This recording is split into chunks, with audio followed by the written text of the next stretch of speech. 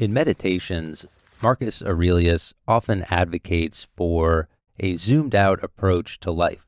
And he connects this to the life cycle, our finite lives, and the nature of all things to naturally arise and pass away. Our time here is finite. The things we spend most of our life caring about don't actually matter in the grand scheme of life. The things we worry about will pass, and new troubles will inevitably come to replace them. So why worry?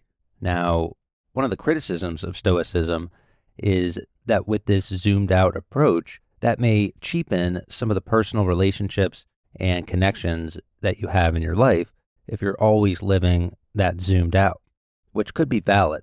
But I think this passage here in chapter 10 really shows that there can be a strange, solitary beauty in this way of thinking.